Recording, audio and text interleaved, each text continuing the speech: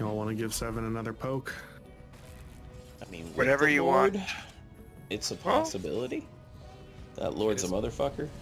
It is paper. Yeah, we can do that. need to do. All right, after nodes, let's go to Stoic and we'll head to we'll head to air.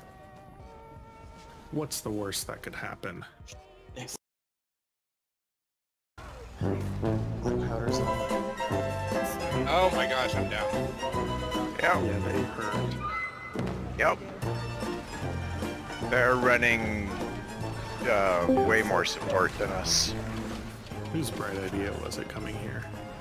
That was O'Hara. Uh, I was following the tag. Hey, Betty, right, let's waypoint back to fire. what's the worst that could happen?